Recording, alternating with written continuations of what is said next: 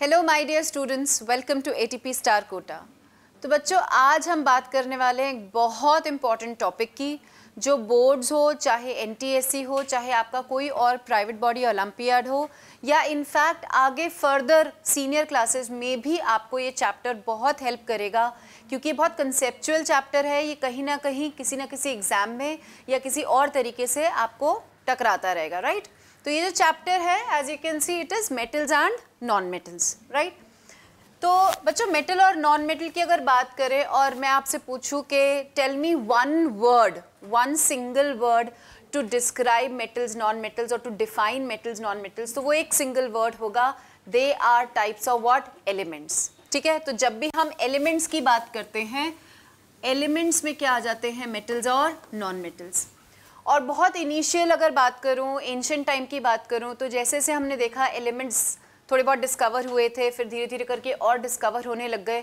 और हमने फिर उनको क्लासिफाई करने की कोशिश करी। तो सबसे पहला क्लासिफिकेशन ही, आप पढ़ते हैं ना पीरियोडिक टेबल की आप बात करते हो तो सबसे पहला क्लासिफिकेशन जो आया था एलिमेंट्स का, वो दिया था लेवॉइशिया ने और उन्होंने शुरुआत ही यहीं से करी थी। उन्होंने बहुत सिंपल तरीके से जो एग्जिस्टिंग एलिमेंट्स थे, तब लगभग लगभग 30 31 एलिमेंट्स नोन थे उस टाइम पर। तो उन्होंने उन एलिमेंट्स की प्रॉपर्टीज़ को स्टडी किया मेजरली फ़िज़िकल प्रॉपर्टीज़ को कि वो कैसे दिखाई देते हैं, और उस बेसिस पर उन्होंने दो कैटेगरीज बना दी एलिमेंट्स की, एक को बोला मेटल और दूसरे को बोला नॉन मेटल्स तो उन्होंने क्या ऑब्ज़र्व किया? उन्होंने देखा कि कुछ ऐसे एलिमेंट्स थे जो शाइन करते थे। जो एक रिंगिंग साउंड प्रोड्यूस करते थे, जो शीट में कन्वर्ट हो सकते थे, जो वायर में कन्वर्ट हो सकते थे, जो सॉलिड स्टेट में एग्जिस्ट करते थे, जो गुड कंडक्टर्स थे हीट और इलेक्ट्रिसिटी के तो उन्होंने ये प्रॉपर्टीज़ आइडेंटिफाई करना शुरू किया और उन्होंने देखा कुछ एलिमेंट्स तो ये सारी प्रॉपर्टीज़ शो करते थे, कुछ एलिमेंट्स ये प्रॉपर्टीज़ शो नहीं करते थे। तो दो ऑपोजिट ग्रुप्स उन्होंने बनाना शुरू कर दिया। नाम क्या रखा? मेटल्स एंड नॉन मेटल्स तो एलिमेंट्स का ये जो क्लासिफिकेशन है, ये क्लासिफिकेशन सबसे पहली बार किसने दिया? लेवोइशियर जो हमारे फादर ऑफ़ केमिस्ट्री हैं राइट उन्होंने दिया। और उन्होंने बहुत सिंपली फ़िज़िकल प्रॉपर्टीज़ को पढ़ते हुए दो ग्रुप्स में एलिमेंट्स को डिवाइड किया मेटल्स एंड नॉन मेटल्स अगर हम टर्मिनोलॉजी की बात करें और इसकी लिटरल मीनिंग की बात करें तो ये जो टर्म है metals this has been derive from a Greek word metallon ये जो मेटल वर्ड है, ये मेटलॉन से डिराइव्ड है और मेटलॉन का मतलब होता है to mine out to mine out to mine out का मतलब माइनिंग करके आपको इन्हें निकालना पड़ेगा। यानी ये कहाँ आकर करते हैं? ये अर्थ क्रस्ट में आकर करते हैं। और अर्थ क्रस्ट में से हमको इनको निकालना पड़ता है। वहाँ से, इस मेटलॉन वर्ड से टर्म क्या बना? मेटल फिर हमने इनकी प्रॉपर्टी स्टडी करना शुरू किया कि अच्छा ये ऐसे ऐसे ऐसे। हैं और जो दूसरे टाइप के, दूसरे कैटेगरी के एलिमेंट्स थे, जो कहीं भी आपको मिल जाते थे एटमॉस्फेयर में भी मिल जाते थे, ज़रूरी नहीं था उनको माइन आउट करके निकालना। और उनकी प्रॉपर्टीज़ मेटल्स की क्या थी? ऑपोजिट यानी जो मेटल नहीं थे मेटल नहीं थे तो टर्म रख दिया क्या? Non metal right right? तो बहुत सिंपल शुरुआत हुई इस चीज़ की कि लेवॉइशिया ने एलिमेंट्स को क्लासिफाई किया। प्रॉपर्टीज़ के बेसिस पर metal and non metal non metal simply जो मेटल नहीं है वो क्या बनता गया? नॉन मेटल में कैटेगराइज uh, होता गया। और मेटल जो टर्म है वो इस बेसिस पर निकाला गया कि अगर आपको किसी भी मेटल की ज़रूरत है जैसे आपको एल्यूमिनियम की शीट बनानी है या आपको गोल्ड के ऑर्नामेंट्स बनाने हैं आपको सिल्वर के ऑर्नामेंट्स बनाने हैं तो आपको इन सारे एलिमेंट्स को अर्थ में से माइन आउट करना पड़ता है तब आप इनको यूज़ कर पाते हो। तो वो माइनिंग से ही टर्म क्या निकला? मेटल और फिर मेटल नॉन मेटल दो कैटेगरीज बनना शुरू हो गई। आज की डेट में बात करें तो वी हैव 118 एलिमेंट्स डिस्कवर्ड और सिंथेसाइज वट और ये जो एलिमेंट्स हैं, ये अब हम तीन कैटेगरीज में डिवाइड करते हैं। मेटल और नॉन मेटल तो है ही। साथ में हम एक और कैटेगरी बताते हैं कौन सी? शायद आपने सुना होगा मेटलॉइड्स ये टर्म आपने सुना होगा। तो अब हमारे पास जो एलिमेंट्स हैं, वो तीन कैटेगरीज में फॉल करते हैं। मेटल्स हैं मेजरली ज़्यादा नंबर जो है एलिमेंट्स का वो मेटल्स हैं। उनके ऑपोजिट हैं नॉन मेटल्स और एक तीसरी कैटेगरी एलिमेंट की आ जाती है, कौन सी? मेटलॉइड मेटलॉइड ऐसे एलिमेंट्स हैं जिनको हम पहले सेमी मेटल्स भी बोलते थे। ये ऐसे एलिमेंट्स हैं which show the properties of both metals and non metals ठीक है, ये मेटल और नॉन मेटल दोनों की प्रॉपर्टी शो करते हैं। एक सिंपल सा एग्ज़ाम्पल अगर बोलें तो it can be silicon it can be germanium ये कुछ मेटलॉइड्स के एग्ज़ाम्पल हैं। और ये मेटल और नॉन मेटल की कंडीशनली कभी मेटल की प्रॉपर्टी शो कर देते हैं, कभी नॉन मेटल की। So they have these intermediate properties of metals and non metals तो तीन कैटेगरीज में अब एलिमेंट्स आ गए metals non metals and intermediate कौन आ गए? मेटलॉइड्स आ गए। तो यहाँ से इस टॉपिक की क्या हुई? शुरुआत हुई। अब अगर आगे अपन बात करें तो इनकी पोजीशन क्योंकि मैंने कहा कि एलिमेंट्स हैं तो एलिमेंट्स को, सारे एलिमेंट्स को आपको पता होगा कि हमने कैसे अरेंज किया है। पीरियोडिक टेबल के फॉर्म में अरेंज किया है which is commonly or which is more correctly called the long form of periodic table right इसकी बात अगर आगे अपन वीडियोस में करेंगे, क्योंकि ये भी बहुत बहुत इंपॉर्टेंट टॉपिक है और बहुत बेसिक टॉपिक है। इलेवेंथ में भी आता है ये दोबारा से चैप्टर नंबर थ्री अगर आप एनसीईआरटी में देखो तो पीरियोडिक टेबल ही मिलेगा आपको। तो इसके बिना केमिस्ट्री को समझना क्या है? इम्पॉसिबल मतलब आप सोच ही नहीं सकते केमिस्ट्री को समझना बिना पीरियोडिक टेबल के। तो अगर अपन एलिमेंट्स की मेटल्स नॉन मेटल्स की पोजिशन देखें पीरियोडिक टेबल में तो जो मेटल्स हैं, वो एज आई सेड ज़्यादा नंबर जो है एलिमेंट्स का, वो मेटल्स का है। नॉन मेटल्स कम है। ओवर 90 एलिमेंट्स आउट ऑफ़ 118 क्या है? मेटल्स हैं। तो metals occupy the left side and the centre of the periodic table metals जो है लेफ़्ट से आप पीरियोडिक टेबल को लेफ़्ट टू राइट रीड कर सकते हो, आप टॉप टू बॉटम भी रीड कर सकते हो, आप लेफ़्ट टू राइट भी रीड कर सकते हो। तो लेफ़्ट में सारे मेटल्स हैं और सेंटर में भी सारे मेटल्स हैं राइट की तरफ़ क्या आने लग जाते हैं नॉन मेटल्स आने लग जाते हैं। तो लेफ़्ट और सेंटर में क्या है मेटल्स हैं और अगर हम नॉन मेटल्स की बात करें तो नॉन मेटल्स कहाँ आ जाएँगे?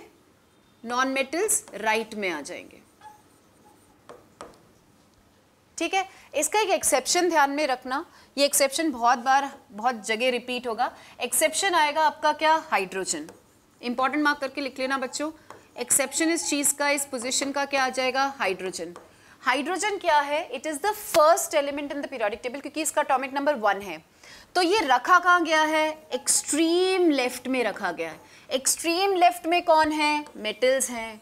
पर हाइड्रोजन क्या है? It is a non metal अगर हम इसकी प्रॉपर्टीज़ देखें तो ये क्या है? नॉन मेटल है राइट right? तो हाइड्रोजन ऑल दो नॉन मेटल है, पर ये रखा कहाँ गया है? लेफ़्ट हैंड साइड में रखा गया है। So this becomes an exception to this positioning of elements in the periodic table तो पीरियोडिक टेबल की अगर सिंपल सी बात करें तो लेफ़्ट में और सेंटर में क्या जाते हैं? मेटल्स आते हैं। जैसे जैसे आप राइट में जाते हो, क्या आने लग जाते हैं? मेटलॉइड सॉरी नॉन मेटल्स आने लग जाते हैं।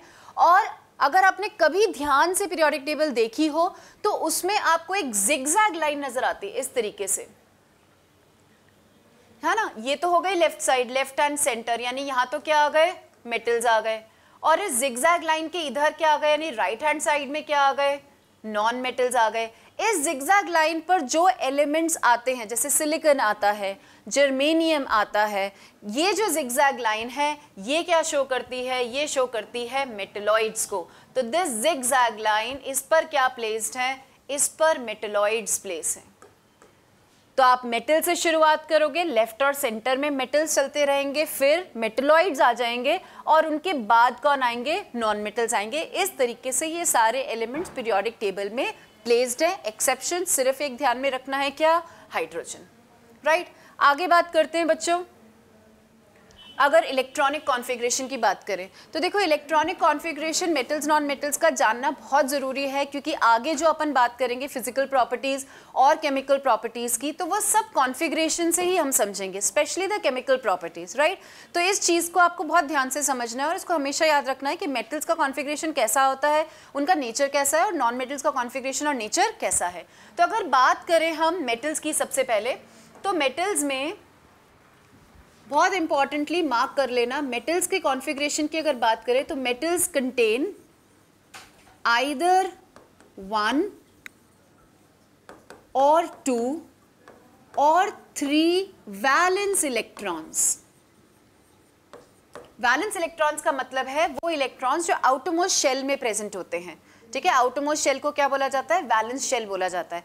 तो मेटल्स ऐसे एलिमेंट्स हैं जिनके आउटर मोस्ट शेल में, सबसे बाहर वाले शेल में या तो एक इलेक्ट्रॉन होगा, या दो इलेक्ट्रॉन होंगे, या तीन इलेक्ट्रॉन होंगे। इसको अपन एग्ज़ाम्पल से समझते हैं।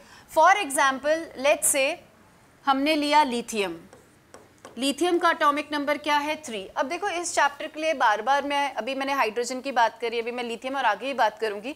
तो मैं बार बार आपको अटोमिक नंबर अटोमिक नंबर बोलूँगी। अगर आपको नहीं पता तो मैं बता देती हूँ कि atomic number is equal to the number of protons present in the nucleus of the atom by default it is equal to the number of electrons present in the atom तो किसी भी एटम में कितने number of electrons हैं? Which is equal to कितने number of protons है? ये number उस एटम का क्या होता है? अटोमिक नंबर उस एलिमेंट का क्या होता है? अटोमिक नंबर हर एलिमेंट का अपना यूनिक अटोमिक नंबर होता है।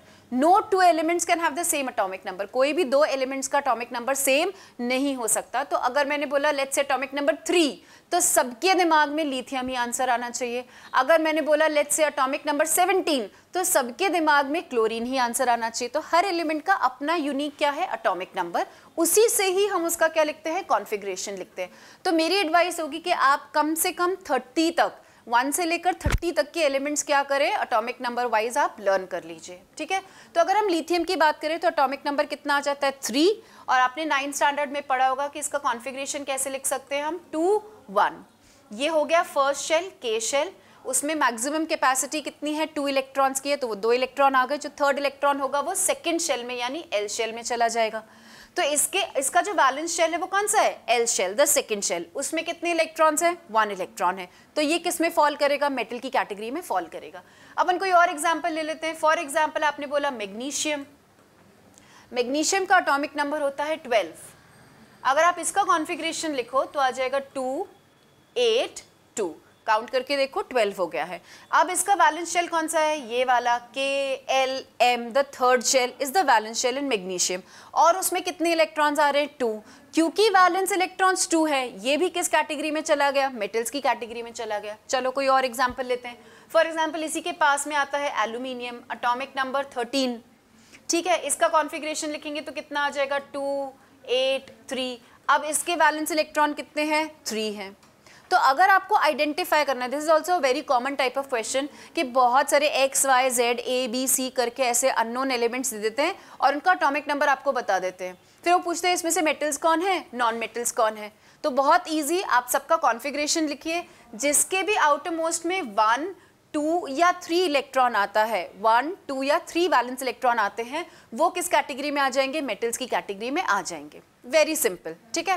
अब अगर इनके नेचर की बात करें तो देखो एक छोटा सा रूल अपन पढ़ते हैं which is called the octet rule शायद आपने नाम सुना होगा octet rule octa referring to eight octet octa का मतलब होता है एट राइट right? तो ये रूल क्या कहता है? ये रूल बेसिकली स्टेबिलिटी का क्राइटेरिया है. ये रूल ये कहता है कि अगर किसी भी एटम के आउटर मोस्ट में एट इलेक्ट्रॉन्स हैं तो वो स्टेबल है, और अगर नहीं है तो वो स्टेबल नहीं है। बहुत सिंपल सा रूल है। क्या कहता है ऑक्टेट रूल ऑक्टेट रूल ये कहता है कि any species or any atom which has any atom which has eight valence electrons बाहर वाले ही देखने हैं और कुछ नहीं देखना, ठीक है? अगर किसी भी एटम में एट वैलेंस इलेक्ट्रॉन्स होते हैं तो वो कैसा होता है? स्टेबल होता है। अदरवाइज़ वो स्टेबल नहीं होता है। ये नोबल गैसेस को स्टडी करके हमने रूल निकाला। ठीक है? अब हर एलिमेंट हर एटम क्या कोशिश करेगा? अगर वो स्टेबल नहीं है तो वो स्टेबल होने की कोशिश करेगा। ये तो बेसिक थम रूल है। हमारी पूरी यूनिवर्स का ही ये थम रूल है कि हर चीज़ स्टेबिलिटी की तरफ़ बढ़ रही है। Right right? तो अगर कोई एटम स्टेबल नहीं है तो वो क्या कोशिश करेगा कि वो एनी हाउ स्टेबल हो जाए। अब मेटल्स पर ये चीज़ अप्लाई करते हैं। ठीक है? क्या करना है इनको? ऑक्टेट रूल फॉलो करना है। ऑक्टेट में ही एक और इसका मॉडिफिकेशन आया, वो भी आप ध्यान में रखना which is called the duplet rule ठीक है? मेजर तो ऑक्टेट रूल है। इसी का एक सबसेट क्या आ गया? Duplet rule duplet referring to double means two तो जैसे यहाँ पर एट वैलेंस इलेक्ट्रॉन की बात की गई है, यहाँ पर बात की गई है टू वैलेंस इलेक्ट्रॉन की। ठीक है हीलियम को स्टडी किया। Helium is again inert gas है, बहुत स्टेबल है, कोई बॉन्ड नहीं बनाती, कोई रिएक्शन नहीं करती। जब उसकी कॉन्फ़िगरेशन को पढ़ा तो समझ में आया अच्छा ऐसे भी स्टेबल हो सकता है कि उसके दो वैलेंस इलेक्ट्रॉन हो जाए। पर ये वाला जो डुप्लेट रूल है, ये किसके लिए फॉलो होता है? This is followed for small atoms जैसे हाइड्रोजन एटम हो गया लिथियम हो गया, ऐसे एटम्स जो बहुत छोटे हैं, इतने छोटे कि भाई उनमें कैपेसिटी नहीं है एट इलेक्ट्रॉन्स को अक्वायर करने की तो वो ऑक्टेट तो कभी भी कंप्लीट नहीं कर पाएँगे। तो उन छोटे छोटे एटम्स के लिए क्या फॉलो होता है? डुप्लेट रूल फॉलो होता है। तो majorly maximum elements octet rule follow करते हैं but small atoms like hydrogen है लिथियम है they all follow what duplet rule ठीक है? अब ये पूरा कॉन्सेप्ट अपन मेटल्स के कॉन्फिग्रेशन में लगाकर देखते हैं कि इनके साथ क्या हो रहा है। तो मेटल्स में as I said they will have either one two or three electrons अब अगर इनकी बात करें for example let say magnesium की बात करें तो आउटर मोस्ट में कितने हैं? टू वैलेंस इलेक्ट्रॉन है ना? टू वैलेंस है तो ये स्टेबल नहीं है, क्योंकि स्टेबिलिटी का क्राइटेरिया क्या है? ऑक्टेट ये क्योंकि बड़ा आइटम है, आप उस पर डुप्लेट नहीं लगा सकते। ऐसे मत सोचना कि मैम इसके आउटर मोस्ट में टू आ गए डुप्लेट रूल फॉलो करके स्टेबल हो जाएगा। No it is a bigger atom it has a capacity of eight electrons तो इसके लिए क्या फॉलो करना पड़ेगा आपको? ऑक्टेट रूल फॉलो करना पड़ेगा। कंफ्यूज बिल्कुल भी मत होना। तो ये कब स्टेबल माना जाएगा जब इसके एट वैलेंस इलेक्ट्रॉन्स होंगे? अब एट कैसे होंगे? देखो, इसके पास दो ऑप्शन है। या तो इसके पास टू इलेक्ट्रॉन्स हैं, ये कहीं से सिक्स इलेक्ट्रॉन्स और गेन कर ले टू और सिक्स मिलकर क्या हो जाएँगे? एट इलेक्ट्रॉन्स ये पहला ऑप्शन है। दूसरा ऑप्शन क्या है कि ये अपने इन दो इलेक्ट्रॉन्स को लूज कर दे, किसी और को दे दे डोनेट कर दे। अगर ये दो इलेक्ट्रॉन्स लूज हो जाते हैं तो आउटर मोस्ट में देखो क्या आ जाएगा? एट इलेक्ट्रॉन्स आ जाएँगे। खुद सोच के बताओ, क्या ज़्यादा इजी है? सिक्स इलेक्ट्रॉन्स गेन करना सिक्स इलेक्ट्रॉन्स गेन करना, या दो इलेक्ट्रॉन लूज कर देना। ऑफ़ कोर्स दो इलेक्ट्रॉन लूज करना क्या है? ज़्यादा ईजी है फॉर मैग्नीशियम एटम तो ये क्या करता है? दो इलेक्ट्रॉन लूज करता है और इस तरीके से अपना क्या कर लेता है? ऑप्टेट कंप्लीट कर लेता है। बट कभी भी कोई भी एटम जब इलेक्ट्रॉन लूज करता है because electron is a negative charge negatively charge particle तो उसमें से नेगेटिव निकल कर जा रहा है ना, वो क्या करेगा? पॉजिटिव चार्ज अक्वायर कर लेगा। कितना अक्वायर करेगा? जितने इलेक्ट्रॉन्स उसने लूज करे हैं। तो ये क्या करेगा? जब ये दो इलेक्ट्रॉन लूज करेगा तो it will convert into two plus atom तो नहीं रहेगा ना। एटम में तो इलेक्ट्रॉन प्रोटॉन क्या होते हैं? बराबर होते हैं, वो न्यूट्रल होता है। जब इसने इलेक्ट्रॉन लूज कर दिए तो इस पर क्या आ जाएगा? Positive charge and it will become M two plus ऐसे ही एल्यूमिनियम के केस में क्या होगा? It will lose three electrons to become stable octet अपना कंप्लीट कर लेगा। थ्री इलेक्ट्रॉन्स लूज करेगा तो इस पर चार्ज कितना आ जाएगा? ए एल थ्री प्लस का। लिथियम की अगर बात करें, ये छोटा आटम है तो ये क्या फॉलो करेगा? डुप्लेट रूल फॉलो करेगा। और अपना ये एक इलेक्ट्रॉन क्या करेगा? किसी को दे देगा। इसका डुप्लेट कंप्लीट हो जाएगा। और क्योंकि इसने एक इलेक्ट्रॉन दिया होगा, इस पर चार्ज कितना आ जाएगा? प्लस वन का चार्ज आ जाएगा। ठीक है? आप कोई भी रैंडमली एग्ज़ाम्पल उठाकर देख सकते हो मेटल का। वो हमेशा क्या कर रहा होगा? इलेक्ट्रॉन लूज कौन से इलेक्ट्रॉन जो उसके वैलेंस शेल में प्रेजेंट है? मतलब या तो वन इलेक्ट्रॉन लूज कर रहा होगा, या टू कर रहा होगा, या थ्री कर रहा होगा टू बिकम स्टेबल चाहे वो डुप्लेट फॉलो करे, चाहे वो ऑक्टेट फॉलो करे. और जब वो इलेक्ट्रॉन लूज करेगा तो डेफिनेटली वो कौन से आयन में कन्वर्ट होगा? पॉजिटिवली चार्ज आयन यानी केटायन में कन्वर्ट होगा. तो यहाँ से हम बहुत इंपॉर्टेंट एक कंक्लूजन निकाल सकते हैं. बच्चों इंपॉर्टेंट मार्क करके अपने नोट्स में लिख लेना.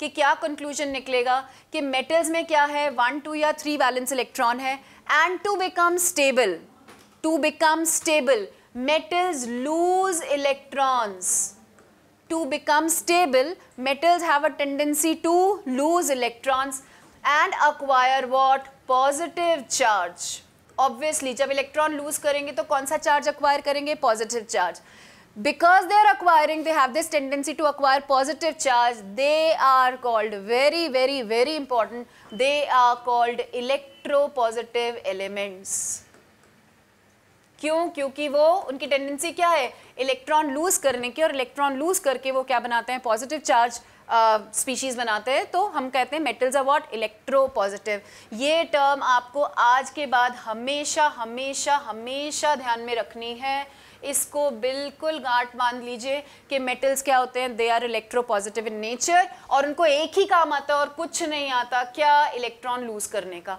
तो चाहे फ़िज़िकल प्रॉपर्टी हो, चाहे केमिकल प्रॉपर्टी हो, इसी पॉइंट से गवर्न होगी कि मेटल्स लूज करते electrons and they are electropositive in nature I hope ये बात समझ में आ गई होगी। चलो, आगे बात करते हैं अगर इसी तरीके से नॉन मेटल्स की बात करते हैं तो नॉन मेटल्स का अगर कॉन्फिग्रेशन हम देखें तो नॉन मेटल्स में क्या है? जैसे हमने मेटल्स में बात करी, अगर नॉन मेटल्स में बैलेंस इलेक्ट्रॉन्स की बात करते हैं तो non metals contain either four or five four or five or six or seven or eight valence electrons यानी फोर से कहाँ तक चल सकता है? एट से चल सकता है। और आपको ये भी पता होगा आपको ये भी पता होगा कि किसी भी एटम में वैलेंस इलेक्ट्रॉन्स एट से ज़्यादा नहीं हो सकते। तो वन टू थ्री तो किसमें आ गए? मेटल्स में आ गए।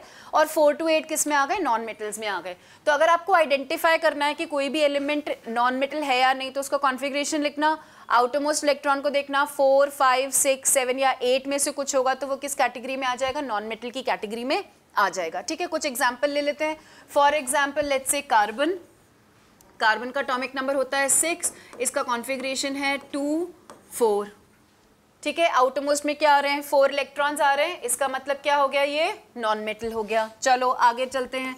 नाइट्रोजन की बात करते हैं। अटोमिक नंबर सेवन कॉन्फ़िगरेशन क्या आ जाएगा? टू फाइव कुछ तो गड़बड़ चल रही है हमारी क्लास में, पर कोई बात नहीं।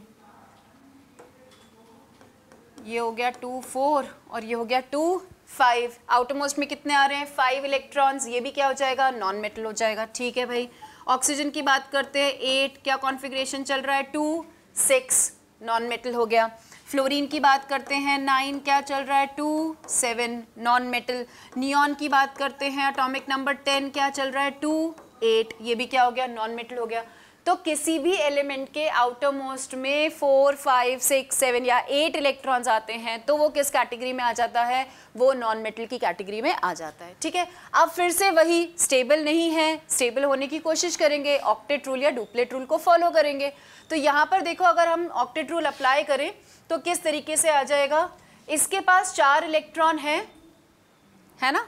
कार्बन के पास चार इलेक्ट्रॉन है, ये चार इलेक्ट्रॉन और अक्वायर करने की कोशिश करेगा। हालाँकि कार्बन में क्या होता है शेयरिंग ऑफ़ इलेक्ट्रॉन होती है। ना वो लूज कर पाता है, ना वो गेन कर पाता है, क्योंकि लूज या गेन करना चार इलेक्ट्रॉन को भाई बहुत बड़ी बात है एनर्जी के पॉइंट ऑफ़ व्यू से। तो ये मेजरली क्या करता है शेयरिंग ऑफ़ इलेक्ट्रॉन करता है। बट अगर बाकी सारे केसेस में अपन देखें तो इसमें फाइव इलेक्ट्रॉन्स ऑलरेडी है, करने कितने हैं, आठ।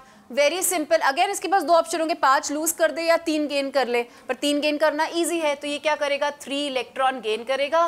फाइव प्लस थ्री कितना हो जाएगा? एट इसके पास सिक्स ऑलरेडी है. एट करने के लिए टू इलेक्ट्रॉन कहीं से क्या करेगा? गेन करेगा. इसके पास सेवन ऑलरेडी है. ये अपने आप का ऑक्टेट कंप्लीट करने के लिए क्या करेगा? कहीं से वन इलेक्ट्रॉन गेन करने की कोशिश करेगा. और ये तो भाई रिएक्ट नहीं करेगा. ये नोबल गैस ही तो ऑलरेडी स्टेबल है. अब जब इलेक्ट्रॉन कोई एटम गेन करता है तो उस पर क्या आ जाता है? नेगेटिव चार्ज जैसे लूज किया तो पॉजिटिव चार्ज आया। क्योंकि इलेक्ट्रॉन नेगेटिव है, कोई एटम इलेक्ट्रॉन गेन करेगा तो वो क्या बन जाएगा? नेगेटिव जितने गेन किए हैं, उतना नेगेटिव चार्ज आएगा। तो नाइट्रोजन क्या बना? थ्री माइनस है ना? ऑक्सीजन क्या बना? टू माइनस फ्लोरीन क्या बना? माइनस और अगर किसी रेयर कंडीशन में कार्बन फोर इलेक्ट्रॉन गेन कर लेगा तो क्या बन जाएगा? फोर माइनस अब देखो क्लियर कट डिफ्रेंसिएशन है। मेटल्स इलेक्ट्रॉन लूज करते हैं पॉजिटिव आयन बनते हैं। नॉन मेटल्स इलेक्ट्रॉन गेन करते हैं नेगेटिव आयन बनते हैं। तभी तो उनकी प्रॉपर्टीज़ लगभग लगभग क्या होती हैं? ऑपोजिट टू ईच अदर कि एक की लर्न कर ली तो दूसरे की ऑपोजिट हो जाएँगी, अपने आप लर्न हो जाएँगी।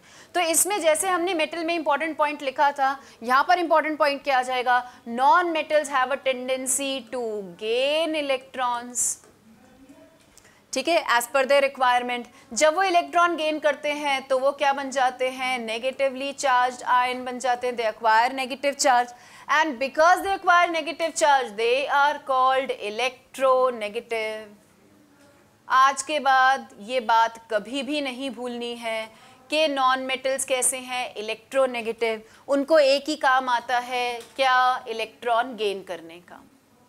तो मेटल्स हो गए electropositive they have a tendency to lose electrons they are electropositive और non metals क्या हो गए they have a tendency to gain electron they are electronegative clear cut difference ये बिल्कुल गांठ बाँध लेनी है बात ठीक है अब इस चीज़ के दो ही एक्सेप्शन हैं वो एक्सेप्शन भी आपको याद रखने हैं उन पर भी क्वेश्चन आ जाता है क्या क्या एक्सेप्शन है हाइड्रोजन एंड हीलियम इस पूरे कॉन्फ़िगरेशन के कंसेप्ट के ये दो एक्सेप्शन है हाइड्रोजन का अटोमिक नंबर है वन कॉन्फ़िगरेशन है वन हीलियम का अटोमिक नंबर है टू कॉन्फ़िगरेशन है टू अब अगर कॉन्फ़िगरेशन वाइज देखें तो ये तो मेटल की कैटेगरी को बिलोंग कर रहे हैं ना? वन टू या थ्री बैलेंस इलेक्ट्रॉन तो कॉन्फ़िगरेशन वाइज देखें तो ये मेटल्स होने चाहिए but both of them are non metals property wise तो ये आप एक्सेप्शन ध्यान में रखना। कि ये जो कॉन्फ़िगरेशन वाली चीज़ है, इसका एक्सेप्शन है हाइड्रोजन और हीलियम दोनों का कॉन्फ़िगरेशन मेटल जैसा है बट वो है एक्चुअली क्या? नॉन मेटल्स ठीक है? तो आई होप आज का लेक्चर आपको समझ में आया होगा। इसके आगे की बात हम नेक्स्ट वीडियो में करेंगे। इसको रिवाइज करके नेक्स्ट वीडियो को देखना। ये चैप्टर बहुत इंपॉर्टेंट है बच्चों। कहीं ना कहीं एज आई सेड वीडियो के स्टार्टिंग में मैंने आपको बोला, कहीं ना कहीं किसी ना किसी एग्ज़ाम में टकराएगा, ही टकराएगा। राइट कमेंट सेक्शन में ज़रूर ज़रूर बताइए कि आप कौन सा टॉपिक पढ़ना चाहते हैं केमिस्ट्री में, ताकि इसके बाद में फटाफट से वो टॉपिक लेकर आप सबके जो प्रॉब्लम है उनका सोल्यूशन दे पाऊँ। और भी ये बताइएगा कि क्योंकि बोर्ड की डेट आ चुकी है फिफ्टीन ऑफ़ फेबररी कंफर्म हो चुका है जो मैंने आपको पहले भी बताया था।